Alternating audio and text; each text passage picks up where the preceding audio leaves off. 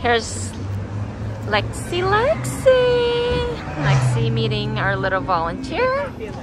He's eight years old. He's eight years old and meeting Lexi for the first time. Good girl, nice and gentle.